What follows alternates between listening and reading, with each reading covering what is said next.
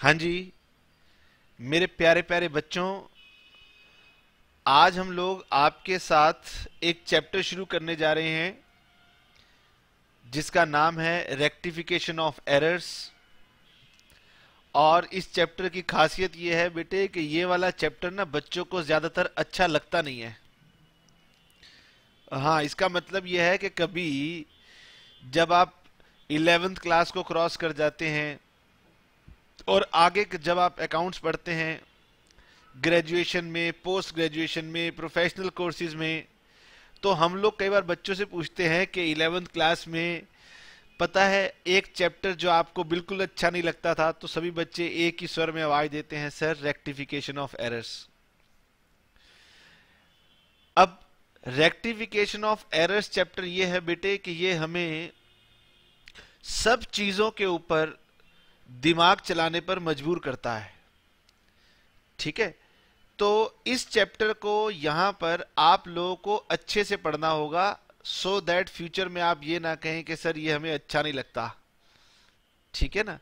आइए जी, मेरे साथ साथ ऐसे बढ़िया चैप्टर को पढ़ना शुरू करते हैं, और हम चैलेंज लेकर के पढ़ेंगे कि, सर, ये चैप्टर हमसे जब भी कोई पूछेगा तो हम कहेंगे, हमारा फेवरेट चैप्टर है। ठीक है जी? आइए, सर शुरू करते हैं। मैंने कहा, चलिए, सबसे पहले तो सभी बच्चे मेरे साथ साथ क्या लिखेंगे? हेडिंग लिखेंगे। रेक्टिफिकेशन ऑफ़ एरर्स अब बेटे, पहली बात तो हमारे सामने ये आती है कि, सर एरर्स क्या हो जाते एरर्स को मतलब क्या मतलब है एरर से? ठीक है? तो एरर का मतलब है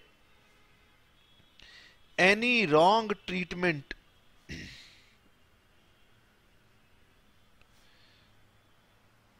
given in accounts of any transaction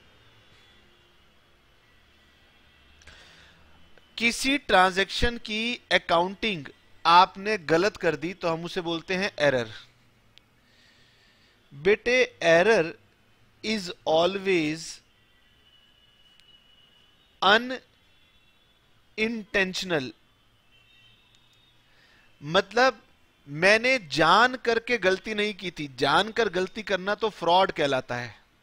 तो एरर का मतलब है कि आपने अकाउंटिंग में किसी भी ट्रांजैक्शन का ट्रीटमेंट किया है और वो ट्रीटमेंट आपने गलत कर दिया है तो हम उसे बोलते हैं एरर्स ठीक है जी? और अगर मैंने कोई एरर की है तो बेटे मुझे उसका क्या करना है? रेक्टिफिकेशन तो मतलब चैप्टर का नाम ही अपने आप में बताता है कि हम लोग क्या करेंगे। पहले तो हम गलती को पकड़ेंगे और फिर हम गलती का सुधार करेंगे। इसलिए चैप्टर का नाम है रेक्टिफिकेशन ऑफ़ एरर्स ठीक? सबसे पहले तो बेटे मुझे आपको यह बताना है कि एरर्स कितने प्रकार की होती हैं। अब अकाउंट्स में एरर्स की तो कोई सीमा ही नहीं है। कोई भी व्यक्ति कोई भी गलती कर देता है। लेकिन फिर भी हमने उसे एक दायरे में बांधने की कोशिश की है। अकाउंटिंग कम्युनिटी ये कहती है कि एरर्स को, वैसे तो एरर्स की सीमा ही नहीं है। लेकिन फिर भी हम आपको समझाने की कोशिश करेंगे कि गलतियाँ किस किस तरह की होती हैं, ज़्यादातर गलतियाँ कैसी होती हैं और उन गलतियों को कैसे ठीक किया जाता है। और जब आप थोड़ी सी प्रैक्टिस कर लेंगे तो फिर आप अपने आप ही हर तरह की गलती को ठीक करना सीख भी जाएँगे। तो सबसे पहले हमारे सामने बात आती है कि एरर्स कितने तरह की हो सकती हैं। काइंड्स ऑफ़ एरर्स ठीक है जी? तो लिखें मेरे साथ साथ एरर्स कैन बी या errors may be of following types यानी गलतियाँ इन प्रकार की हो सकती हैं। समझ में आया? हमने गलतियों के भी प्रकार बना दिए। ठीक है? नंबर वन सुंदर सुंदर से नाम देने पड़ते हैं तो पहली गलती का नाम हो जाता है errors of principle errors of principle ये हमने प्रिंसिपल तो स्कूल का प्रिंसिपल लिख दिया। Errors of principle number two दूसरी तरह की एरर्स कहलाती हैं एरर्स ऑफ़ ओमिशन ठीक है जी? और ये एरर्स ऑफ़ ओमिशन भी ना दो तरह की हो सकती हैं। एक तो होती है कंप्लीट ओमिशन कंप्लीट ओमिशन अच्छा जी, ये स्पेलिंग मिस्टेक होने वाला था ना। ओमिशन कंप्लीट ओमिशन और दूसरी हो सकती है पार्शियल ओमिशन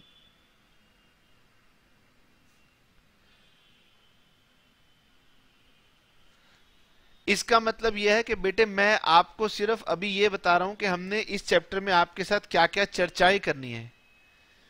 तो अभी आपका ध्यान जो है वो लिखने पर होना चाहिए, ना कि ये पूछने पर कि सर ये क्या लिखवा रहे हो, ये क्या होती हैं। ठीक है जी, एक तो ब्रॉड कैटेगरी हो गई एरर्स ऑफ़ प्रिंसिपल एक हो गई एरर्स ऑफ़ ओमिशन एक हो गई errors of commission errors of commission ठीक है जी और एक हो जाती हैं हमारे पास कंपेंसेटिंग एरर्स कंपनसेटिंग एरर्स तो चार तरह की एरर्स के हेल्प से हम आपको सिखाएँगे कि एरर्स क्या हैं और उनका ट्रीटमेंट क्या है। ठीक है? आप चाहें तो ना इसका एक सुंदर सा चार्ट भी बना सकते हैं। सर, चार्ट कैसे बनेगा? मैंने कहा, देखिए, चार्ट तो ऐसे बनेगा ना। काइंड ऑफ़ एरर्स लिखिए। नंबर वन हमें ना चार्ट बनाना अच्छा लगता है। किताब में चार्ट बनाओ तो हम देख के खुश हो जाते हैं। बताइए, पहले तरीके की एरर्स का नाम बताइए। सर, पहले तरीके की एरर्स को लिख दो। Errors of principle errors of principle ठीक है जी? दूसरी एरर्स का नाम बताओ। एरर्स ऑफ़ ओमिशन ठीक है? एरर्स ऑफ़ ओमिशन फिर आपने दो पार्ट में डिवाइड की थी। या तो कंप्लीट ओमिशन हो गई होगी या फिर पार्शियल ओमिशन रह गई होगी। ठीक है? और उसके बाद फिर हमने कही थी campaign errors of commission errors of commission ये बहुत बड़ी है, इसलिए इसके प्रकार मैं यहाँ पर बनाऊँगा नहीं, क्योंकि सबसे ज़्यादा कैटेगरी इसी के अंदर है। और फिर बच जाती है हमारे पास कंपेंसेटिंग एरर्स ठीक, ये तो हमने चार्ट बनाया कि पहले बच्चों को याद होना चाहिए कि हमने पढ़ना क्या क्या फिर हम एक एक लेके शुरुआत करेंगे। ठीक है जी? तो सबसे पहली एरर का मैंने हेडिंग डाली, इसका नाम है एरर्स ऑफ़ प्रिंसिपल पहली एरर का नाम लिखेंगे एरर्स ऑफ़ प्रिंसिपल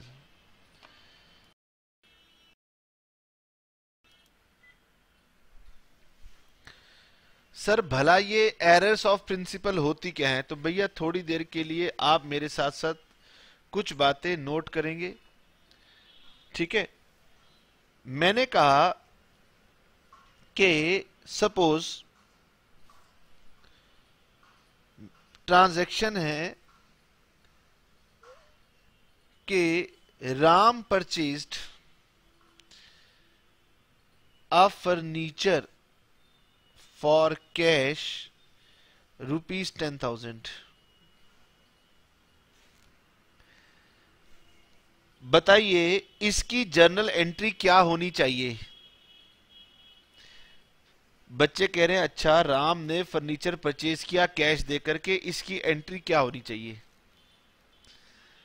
अब देखो, बच्चे बोल नहीं रहे एंट्री। बच्चे कहते हैं, पहले सर बोलेंगे, फिर हम लिखेंगे और फिर हम बोलेंगे। जबकि मैं जानता हूँ कि आप इसकी एंट्री बोलेंगे ना तो कम से कम 25 परसेंट बच्चे इसकी एंट्री मुझे गलत ही बताएँगे। हालाँकि बहुत ही आसान है, इसलिए मैंने कहा सिर्फ़ 25 परसेंट बच्चे ऐसे होंगे जो इसकी एंट्री गलत बताएँगे। ठीक है तो मैं आपको बताता हूँ सही एंट्री क्या है। जो बच्चे सही एंट्री बता रहे हैं, वो मैं यहाँ लिखूँगा, और जो बच्चे गलत एंट्री बता रहे हैं तो वो मैं यहाँ लिखूँगा, तभी तो समझाऊँगा कि गलती हो जाती है। सर, इसकी करेक्ट एंट्री ठीक है जी, इसकी करेक्ट एंट्री होगी furniture account debit to cash account. दस हज़ार और दस हज़ार। लेकिन कुछ बच्चों ने ना गलती से इसकी एंट्री ये भी बोली होगी purchase account debit to cash account हाँ अब जिन बच्चों ने गलत एंट्री बोली होगी ना, वो अपनी बात से पलट जाएँगे कि नहीं सर, हमने तो सही एंट्री बोली थी। बेटे, लेकिन मैं कह रहा हूँ, इसमें कुछ छुपाने की बात नहीं है, गलती तो हो जाती है। यानी अगर कोई व्यक्ति फर्नीचर परचेज करे ना तो उसकी एंट्री होनी चाहिए furniture account debit to cash. लेकिन कई बार ना, हमारे को इतनी ज़्यादा परचेज की एंट्री बनाने की आदत होती है कि हमारे मन से एंट्री निकल आती है कि purchase account debit to cash. इसको बोलते हैं करेक्ट एंट्री, इसको बोलते हैं रॉन्ग एंट्री। इसका मतलब ये करना चाहिए था और बच्चे ने इसको ये दिखा दिया। ठीक है जी?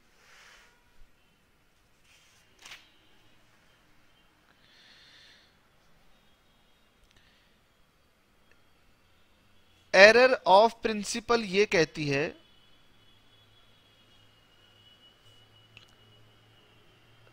sometimes purchase of fixed asset sometimes purchase of fixed assets is treated as normal expense बेटे, जब हम फिक्स्ड एसेट्स को परचेज करते हैं ना तो वो आगे चल के ना हमारी बैलेंस शीट के अंदर जाता है। और जब हम कोई खर्चा करते हैं, वो हमारे प्रॉफिट एंड लॉस अकाउंट में जाता है। ठीक है? ये वाला पार्ट ना अभी कुछ बच्चे जानते नहीं है। हमारा फिक्स्ड एसेट्स कहाँ जाता है? बैलेंस शीट में। और जो बैलेंस शीट में जाता है ना, उसको हम बोलते हैं कैपिटल एक्सपेंडिचर। और जो पी एंड एल में जाता है, उसको बोलते हैं रेवेन्यू एक्सपेंडिचर। अगर मैं सिंपल भाषा में आपको समझाऊं तो मैं ये कहना चाहता हूँ कि कई बार हम परचेज ऑफ़ एसेट को नॉर्मल एक्सपेंस दिखा देते हैं। अगर हमने ऐसी गलती की तो इसे बोलते हैं एरर ऑफ़ प्रिंसिपल और यदि मैं टेक्निकल भाषा में कहूँ तो मैं ये कहता हूँ कि sometimes capital expenditure is treated as revenue expenditure ठीक? खैर टेक्निकल बातें तो होती रहेंगी। और वाई से वर्षा वाई से वर्षा का मतलब होता है इसका उल्टा, मैंने हिंदी में लिख दिया, इसका उल्टा। उल्टा मतलब क्या? उल्टा मतलब कई बार हम खर्चे को एसेट में डाल देते हैं। यानी मेरी क्या गलती हुई? सर, मैंने एसेट को गलती से खर्चे में डाल दिया। या फिर कई बार हमने खर्चे को गलती से एसेट में डाल दिया। इस गलती को बोलते हैं एरर ऑफ़ प्रिंसिपल अभी अभी मैंने आपके सामने एग्ज़ाम्पल लिया। ठीक है, मैं अभी ऐसे और भी एग्ज़ाम्पल आपके साथ लूँगा। अब सवाल ये उठता है कि, सर, देखो, ठीक कैसे किया जाए? ठीक है जी। रेक्टिफिकेशन कैसे की जाए?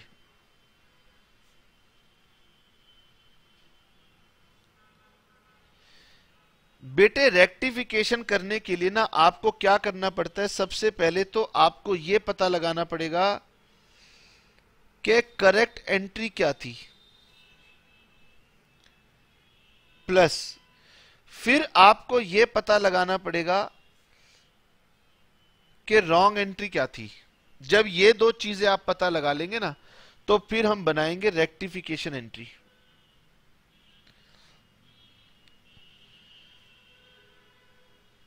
और रेक्टिफिकेशन एंट्री करने का नियम यह होता है कि करेक्ट एंट्री को आपको मिलाना है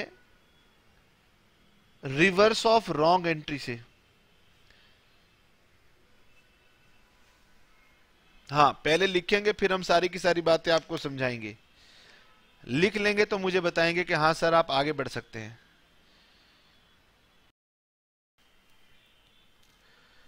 सर एग्ज़ाम्पल लिखिए। मैंने कहा, आइए मेरे साथ साथ पहले एग्ज़ाम्पल लिखेंगे, फिर इस रूल को समझेंगे. एग्ज़ाम्पल मैंने कहा, लिखें purchase of furniture rupee ten thousand wrongly debited to purchase account मैंने जो पिछली ट्रांजैक्शन आपसे पूछी थी ना, उसी को गलती के तरीके से कैसे लिखना है, वो लिख के दिखाया है। Purchase of furniture wrongly debited to purchase account इसके लिए मुझे एक तो करेक्ट एंट्री चाहिए और एक रॉन्ग एंट्री चाहिए। तो पहले मैं हमेशा लिखूँगा रॉन्ग एंट्री सबसे पहले मैं लिखूँगा रॉन्ग एंट्री रॉन्ग एंट्री आपको इसी लाइन में पढ़ के पता लगानी है। वो कह रहे हैं, मैंने रॉन्गली डेबिट कर दिया है किसको? परचेज को। तो भाई रॉन्ग एंट्री हो जाएगी मेरी purchase account debit to cash अब मैंने कहा, भाई करेक्ट एंट्री क्या होनी चाहिए थी? सर करेक्ट एंट्री होनी चाहिए थी furniture account debit to cash account. ठीक है जी? हाँ। अब मैंने ढूंढनी है रेक्टिफिकेशन एंट्री। तो बेटे, पहले स्टेप नंबर वन, आपने सबसे पहले गलती में से ढूंढनी है कि गलत क्या किया गया, ये गलत एंट्री है। Step number one. फिर स्टेप नंबर टू, आपने करेक्ट एंट्री का पता लगाना है। ये दोनों ही मेरे वर्किंग नोट के काम है। मेरे को आंसर में क्या बताना है? Rectification entry. ठीक है जी? तो रेक्टिफिकेशन एंट्री कैसे बनाते हैं? सभी बच्चे मेरे साथ साथ ध्यान देंगे। ठीक है जी? दोनों एंट्री को कंपेयर करना है। और दोनों एंट्री में जो आपको सेम दिख रहा है, उसको पहले तो काट दो। ठीक है जी? इसको काट दो। सर, कैश यहाँ पर भी क्रेडिट है और कैश यहाँ पर भी क्रेडिट है तो इसको काट दो। इसका मतलब है कि अब आप कैश को भूल जाइए, कैश में कोई गलती नहीं है। ये देखिए, सबसे पहले तो जो गलती नहीं है उसको बाहर कर दो। कैश क्रेडिट होना चाहिए था और कैश क्रेडिट हुआ है। देखिए, करेक्ट एंट्री कह रही है, कैश को क्रेडिट होना चाहिए और रॉन्ग एंट्री कह रही है, भैया, मैंने भी तो कैश को क्रेडिट किया है। मैंने कहा, इसीलिए तो कह रहा हूँ कि सबसे पहले तो आप कैश को काट दो। इसका कोई काम नहीं है। काट दिया। अब बताइए, ये गलत डेबिट हो गया। परचेज डेबिट होनी नहीं चाहिए थी, मगर मेरे से डेबिट हो गई। काश मैं बच्चा होता, काश मैं बच्चा होता तो मैं एक रबड़ उठाता और रबड़ उठा करके परचेज को यहाँ से डिलीट कर देता। क्या मैं ऐसा कर सकता हूँ? बताइए। बेटे बिज़नेस में आप काम कर रहे हैं अकाउंट्स में ऐसा नहीं होता कि आप यहाँ से काट दीजिए या इसको आप रबड़ से मिटा दीजिए। जब मैं इसे काट नहीं सकता, जब मैं इसे रबड़ से मिटा नहीं सकता तो भाई मैं कर क्या सकता हूँ? सुनो अकाउंट्स कहती है कि यदि आपसे कोई चीज़ गलत हो जाए ना तो आप उसे रिवर्स कर दो। ये मैंने रिवर्स लिखा है ना? इसका मतलब डेबिट को हटाने के लिए अब आप क्रेडिट कर दो। समझ में आ? यानी परचेज गलती से डेबिट हो गई। अब इसे कैसे ठीक करूँ? अब आप परचेज को क्रेडिट कर दो। समझ में आ? मैं कहता हूँ, एक आदमी अगर एक किलोमीटर राइट चला गया है गलती से, मुझे फ़ोन कर रहा है कि मैंने आपके घर आना है, क्या करूँ? तो मैं कहूँगा, भाई, अब उल्टा आ जाओ। एक किलोमीटर उल्टे आ जाओ। तो भाई, परचेज डेबिट हो गई, जो कि होनी नहीं चाहिए थी। तो मैं कहूँगा, अब आप इसको रिवर्स कर दो। इसका मतलब परचेज को आप क्रेडिट कर दो। तो भाई, मैंने लिखा, टू परचेज अकाउंट, ये लीजिए। ठीक है जी? ये मेरी इस गलती का सुधार हो गया जब मैंने परचेज अकाउंट को क्रेडिट किया तो ये डेबिट खत्म हो गया। इसका इफ़ेक्ट खत्म हो गया। और फर्नीचर अकाउंट को डेबिट होना चाहिए था। अब वो व्यक्ति मेरे पास आ गया, कह रहा है, लो जी, अब बताओ कहाँ जाने अब मैंने उसे सही रास्ता दिखा दिया। मैंने कहा, लो, अब सही रास्ते पर चले जाओ। यानी कि जो सही होना है, उसको एज इट इज़ लिख दो। ये लो, इसका मतलब फर्नीचर जो कि पहले डेबिट नहीं हुआ, उसे डेबिट कर दो। और परचेज जो पहले डेबिट गलती से हो गया था, उसको क्रेडिट कर दो। इससे इसका प्रभाव खत्म हो गया और इसका प्रभाव डल गया। ठीक है जी? बींग रेक्टिफिकेशन एंट्री मेड ये नरेशन डाल दी समझ में आ ठीक है। ये कौन सी गलती हुई? इसको बोलेंगे कि जब हमने एसेट को गलती से खर्चे में डाल दिया। ठीक है सर अब आप हमें एक और ट्रांजैक्शन लिख के बताओ। मैंने कहा, लीजिए। लिखें। Machinery purchased rupee five thousand wrongly passed through purchase book machinery purchase rupees five thousand wrongly passed through purchase book अब आपको याद है कि परचेज बुक में क्या रिकॉर्ड किया जाता है? किसी बच्चे को याद है? बच्चे कह रहे हैं हाँ हमें याद है। परचेज बुक में रिकॉर्ड किया जाता है क्रेडिट परचेजेस ऑफ़ गुड्स। ये आपको याद होना चाहिए। मैंने कहा रेक्टिफिकेशन में बहुत कुछ चाहिए होता है। जब ऑथर ने लिखा है कि मैंने परचेज बुक में डाल दिया तो इसका मतलब है परचेज बुक में तो रिकॉर्ड होती है क्रेडिट परचेज ऑफ़ गुड्स। तो इसका अपने आप मतलब है कि उसने इसे गुड्स की परचेज दिखा दिया। हाँ ये भी सेम एरर हुई है। अब बताइए wrongly pass through purchase book इसका मतलब मैंने इसकी एंट्री क्या लिख दी है? इसकी एंट्री मैंने लिख दी है purchase account debit to supplier ये मैंने इसकी गलत एंट्री लिख दी। ये लीजिए। It is wrong entry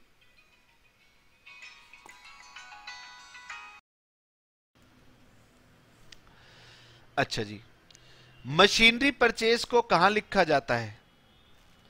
machinery purchase को हम परचेज बुक में नहीं लिखते, उसको लिखते हम जर्नल प्रॉपर में। खैर, मुझे तो इसकी करेक्ट एंट्री से मतलब था। इसकी करेक्ट एंट्री क्या होनी चाहिए थी? सर, इसकी करेक्ट एंट्री होनी चाहिए थी machinery, account debit, to supplier, ये मेरी करेक्ट एंट्री होनी चाहिए थी। अब बताइए। अब मुझे आप बताइए कि इसकी रेक्टिफिकेशन कैसे की जाएगी। याद कीजिए, पहले तो रॉन्ग एंट्री पता लगानी है, सर पता लगा ली। ये वर्किंग नोट का काम है। फिर करेक्ट एंट्री पता लगानी है। यह भी वर्किंग नोट का काम है। अब बताइए रेक्टिफिकेशन एंट्री कैसे बनानी है? सर, पहले तो हम दोनों एंट्री को कंपेयर करेंगे और दोनों में जो बिल्कुल सेम होगा, वो हटा देंगे। इसका मतलब ये कि भाई सप्लायर क्रेडिट होना चाहिए था और सप्लायर क्रेडिट हो भी गया है, इसलिए इसको तो काट दीजिए। ठीक है? अब जो गलत हो गया है, उसे रिवर्स कर दो। ये गलत हो गया है तो गलत को तो रिवर्स कर दो तो परचेज को कर दो क्रेडिट टू परचेज इसको रिवर्स कर दो और इसको एज इट इज़ लिखो. ये लो, इसका मतलब मशीनरी को डेबिट कर दो और परचेज जो गलत डेबिट हो गया है, उसको क्रेडिट कर दो. Being rectification entry made being rectification entry made बोलिए, ये भी क्लियर हो गई? ठीक है। बच्चे कह रहे हैं कि, सर, अब हमारे को और एग्ज़ाम्पल दो, मैंने कहा, लीजिए, और एग्ज़ाम्पल लिखिए. Sale of machinery wrongly posted to sales account, rupees 6000 sale of machinery मतलब मैंने मशीनरी बेची थी जिसे मैंने गलती से सेल्स अकाउंट में डाल दिया। ठीक है सर, पहले तो हम रॉन्ग एंट्री पता लगाएँगे। मैंने कहा, ठीक रॉन्ग एंट्री पता लगाइए।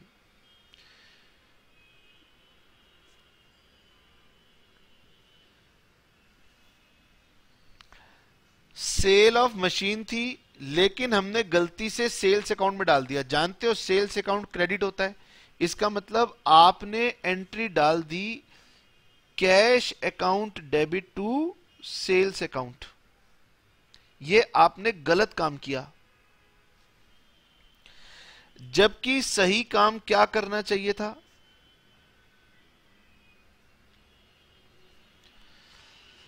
जबकि सर ये सेल ऑफ़ मशीनरी थी तो सेल ऑफ़ मशीनरी को तो हम मशीनरी अकाउंट में क्रेडिट करते हैं। अब ये बात और है कि कुछ बच्चों को लग रहा होगा, सर, सेल ऑफ़ मशीनरी की एंट्री तो cash account debit to sales होती है। अब कोई बच्चा नहीं बोले, कह रहे, सर, हमने तो यही कहा है, यही एंट्री होती है। हाँ खैर, कोई बात नहीं। ये रॉन्ग एंट्री बन गई, ये करेक्ट एंट्री बन गई। अब बच्चे कह रहे हैं, सर, इसकी रेक्टिफिकेशन हम बनाएँगे। मैंने कहा, बनाइए। सर, ये पार्ट दोनों में सेम है। इसको काट दो। मैंने काट दिया। ठीक है? अब सर, ये जो गलत हो गया था सेल्स मुझसे गलती से क्रेडिट हो गई थी, इसको कर दो डेबिट सेल्स अकाउंट को कर दो डेबिट तो भाई इसका सुधार हो गया। और जो करेक्ट होना चाहिए था, उसको तो सर एज इट इज़ ही लिखा जाता है। तो लिखो टू मशीनरी अकाउंट ये लिख दिया सिक्स थाउज़ेंड हो गई rectification being rectification made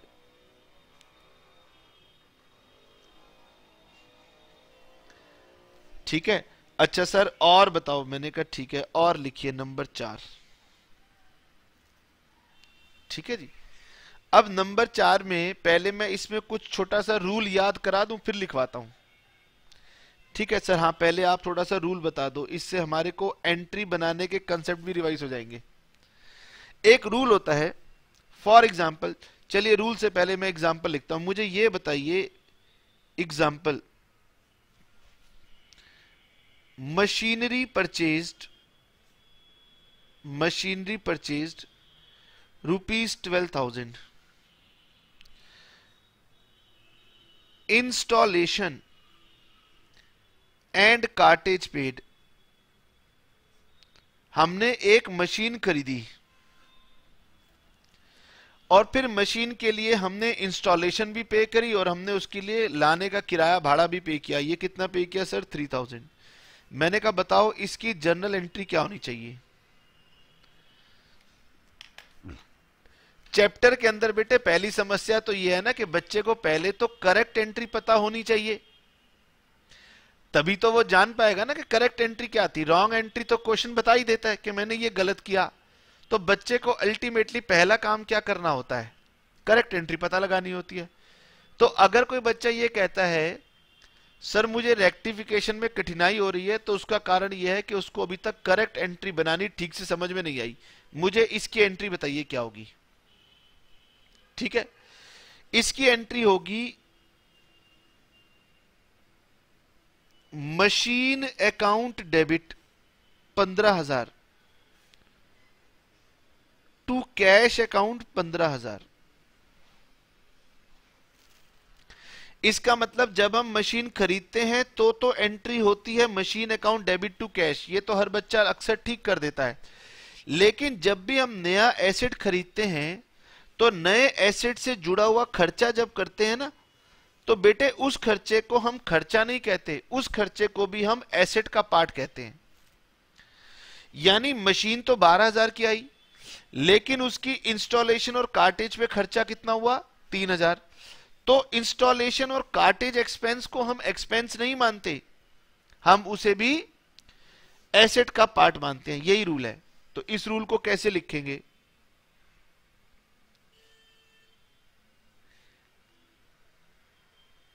Any expenses paid before the asset is put to use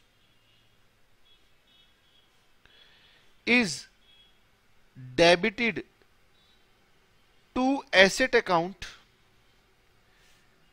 and not expense account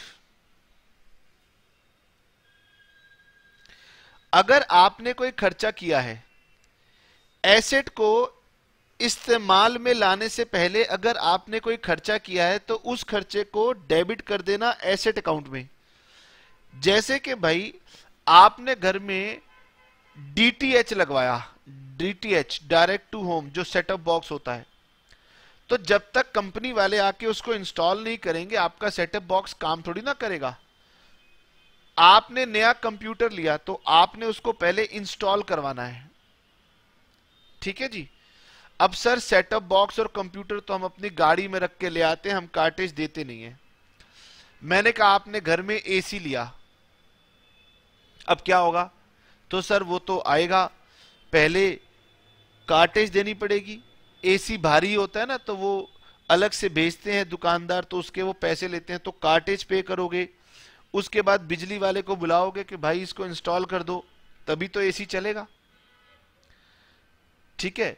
आपने घर में सर्दी में गीजर लिया तो सिर्फ़ गीजर खरीदने से तो काम नहीं चलेगा ना। पहले उस गीजर को लाने का भाड़ा लगेगा, फिर उसको इंस्टॉल करवाना पड़ेगा, तभी तो वो चलेगा। यानी एसेट खरीदोगे तो खर्चे भी करने पड़ेंगे। और इस्तेमाल करने से पहले के जितने भी खर्चे होते हैं ना, उन्हें हम खर्चा नहीं कहते, उन्हें हम एसेट कहते हैं। और इसके मेजरली एग्ज़ाम्पल मुझे बताओ कौन कौन से होते हैं? बच्चे होशियार हैं। बच्चे कह रहे, दो तो आपने सामने ही लिखे हुए हैं, एक तो इंस्टॉलेशन चार्जेस मैंने कहा, कोई बात नहीं, मैं भी दो के बाद ही तुम्हारे से पूछूँगा। इंस्टॉलेशन चार्जेस और कार्टेज और बताओ। और कोई खर्चा बताओ। सर, जैसे legal charges in case of building, अगर आप बिल्डिंग खरीदोगे ना तो बिल्डिंग के बेटे आपको अपने नाम पर ट्रांसफ़र करानी पड़ती है। तो लीगल चार्जेस या रजिस्ट्रेशन चार्जेस बोलते हैं। ठीक है, और बताओ। सर, और एग्जांपल है वेजिस पेड फॉर इरेक्शन कहो या कंस्ट्रक्शन ऑफ़ मशीनरी कहो। Wages paid for construction of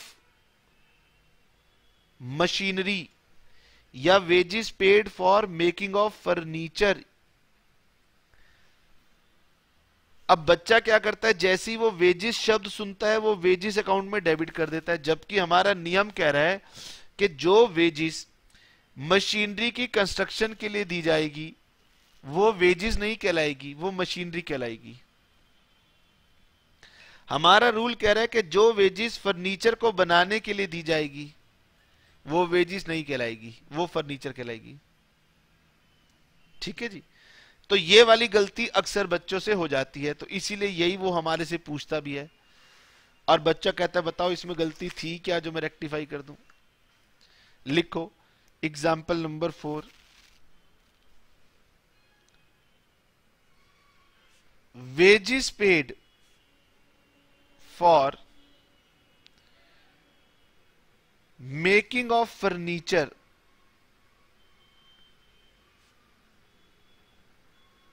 wrongly debited to furniture account wrongly debited to wages account मैं भी क्या बातें कर रहा हूँ? Rupees three thousand wages paid for making of furniture मैंने कहा, अगर आपने वेजिस फर्नीचर बनाने के लिए दी हैं तो उस वेजिस को वेजिस अकाउंट में नहीं, फर्नीचर अकाउंट में लिखते हैं। लेकिन जिसे ये रूल ना पता हो, उसने तो रट रखा होगा कि वेजिस पे की हैं तो वेजिस अकाउंट में डेबिट कर दो। अब बताइए, सर, इसकी तो रॉन्ग एंट्री हो जाएगी।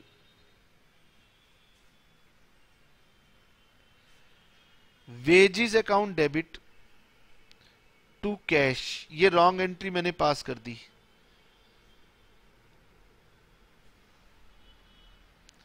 अब इसकी करेक्ट एंट्री बताइए। अब इसकी करेक्ट एंट्री होनी चाहिए थी furniture account debit to cash account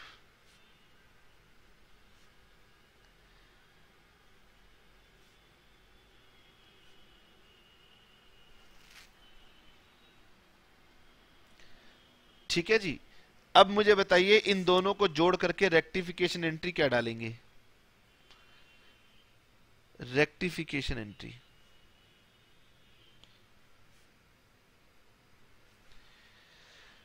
sir, पहले तो इस कैश को भूल जाइए, इसमें गलती नहीं है। मैंने कहा, ठीक हो गया। उसके बाद, सर, जो गलत किया उसे तो रिवर्स कर दो। तो यानी वेजिस को मैंने डेबिट किया है ना तो वेजिस को तो सर आप क्रेडिट कर दो। वेजिस अकाउंट तीन हज़ार। और ये ठीक हो गया, अब ये रह गया तो सर फर्नीचर अकाउंट को अब आप डेबिट कर दो। फर्नीचर अकाउंट को आप डेबिट कर दो। लीजिए बेटे, ये काम पूरा हो गया। Being rectification made being rectification made. अच्छा जी example number five repair to machinery rupee eight thousand wrongly debited to machine account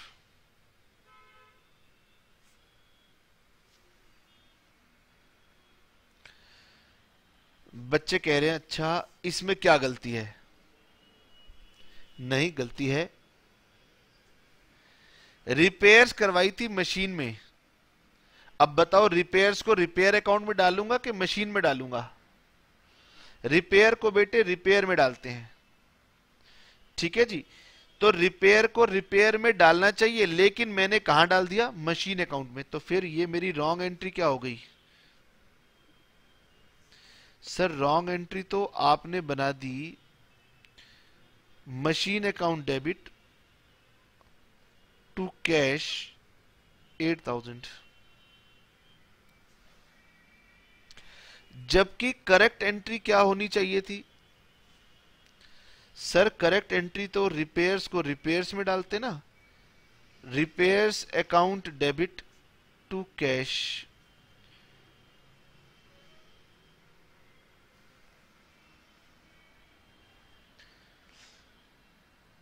अब सर, इसकी रेक्टिफिकेशन एंट्री तो हम फर्राटे से बना सकते हैं। जो ठीक था उसको डेबिट कर दो और जो गलत था उसे रिवर्स कर दो। तो इसकी रेक्टिफिकेशन एंट्री हो जाएगी repairs account debit to machine account ये लीजिए बेटे, ये रेक्टिफिकेशन एंट्री पास हो गई। अब एक और छोटा सा एग्जांपल लिख लेते हैं जब रिपेयर्स की बात आई गई है।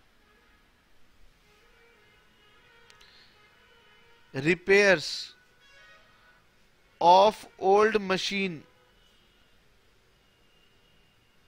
purchase rupees twelve thousand wrongly debited to repairs account. Wrongly debited to repairs account. अब मुझे यह बताइए, क्या पांचवी में और छठी में आपको कोई अंतर नज़र आ रहा है? इन दोनों में डिफरेंस है। नॉर्मली रिपेयर्स जो होती है ना, वो रिपेयर अकाउंट में आती हैं। लेकिन मान लीजिए मैंने कोई पुराना एसेट खरीदा। तो पुराना एसेट जब मैं खरीदता हूँ ना तो उसकी रिपेयर्स के ऊपर ना मेरा ये वाला रूल लग जाता है। ये जो मैंने आपको सिखाया था कि खर्चे को खर्चा नहीं एसेट में डेबिट करते हैं। ठीक है जी? ये रूल एक और चीज़ पर लगता है। किस पर? रिपेयर्स ऑफ़ ओल्ड मशीन इसका मतलब रिपेयर्स ऑफ़ ओल्ड मशीन को याद कर लीजिए। रिपेयर नहीं कहेंगे मशीन अकाउंट कहेंगे। Repairs of old machine repairs नहीं कहलाएगी मशीन में जाएगी, जबकि उसने कहा डाल दी? रिपेयर में डाल दी। ठीक है? तो ये भी अपने रूल में आप ऐड कर लीजिए कि repairs to old machine machine में डेबिट होती है। ठीक है जी? अब बताइए, इसकी रॉन्ग एंट्री क्या थी?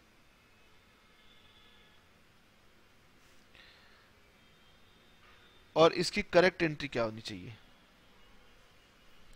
सर रॉन्ग एंट्री की बात करते हैं। ठीक है जी।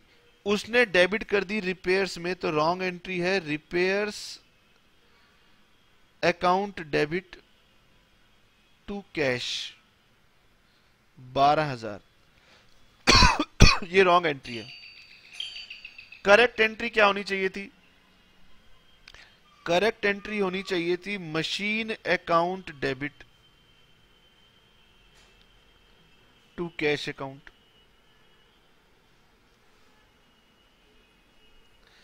अब सर इसकी रेक्टिफिकेशन एंट्री क्या हो जाएगी?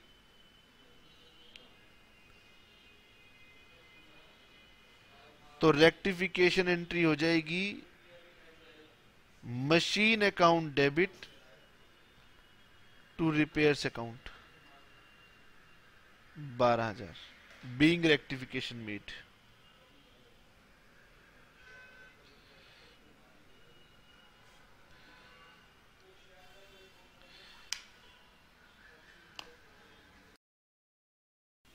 हाँ जी।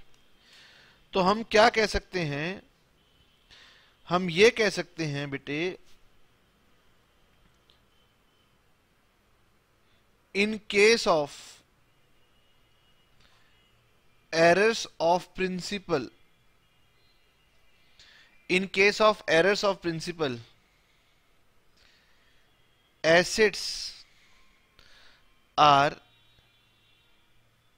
recorded as expense और या फिर इसका उल्टा expenses are recorded as assets गलती यही होती है। मेन बात यह है कि एरर्स ऑफ़ प्रिंसिपल लिख लो। Do not affect trial balance errors of principle do not affect trial balance या लिख सकते हैं do not affect agreement of trial balance इसका मतलब यह हो गया कि एरर्स ऑफ़ प्रिंसिपल की वजह से मेरे ट्रायल बैलेंस पर कोई भी प्रभाव नहीं पड़ता। ट्रायल बैलेंस फिर भी मेरा एग्री कर जाता है। ठीक है? इस बात को हम आगे अपने चार्ट पर भी लिख लेते हैं। जहाँ पर हमने आगे चार्ट बनाया ना एरर्स ऑफ़ प्रिंसिपल यहाँ लिखा है। यहाँ लिख लीजिए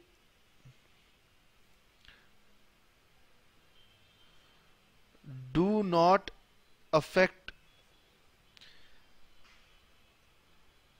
agreement of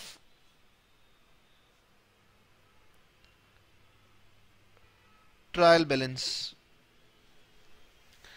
यानी एरर्स ऑफ़ प्रिंसिपल की वजह से हमारा ट्रायल बैलेंस अफेक्ट नहीं होता। Do not affect agreement of trial balance ठीक? चलिए बेटे, एक काम करते हैं।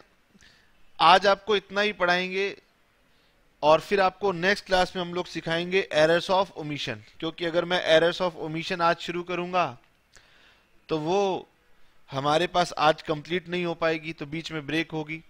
तो इसीलिए मैं आज यहीं पे छोड़ देता हूँ और नेक्स्ट क्लास में आपको बताऊँगा एरर्स ऑफ़ ओमिशन और अभी कोई होमवर्क नहीं है, सिवाय इसके कि आपको जो मैंने पढ़ाया है, आप इसे रिवाइज करेंगे। ठीक है? हमारे पास जो क्वेश्चंस होते हैं ना बेटे, उसमें सब तरह की एरर्स मिक्सड होती हैं। तो जब तक मैं ये सारी एरर्स आपको समझा नहीं लेता, तब तक होमवर्क देने का बेनिफिट नहीं होगा। ठीक है? तो आज हम यही छोड़ देते हैं। बाकी आपको नेक्स्ट क्लास में पढ़ाएँगे एरर्स ऑफ़ ओमिशन ठीक है जी। चलिए, आज इतना ही।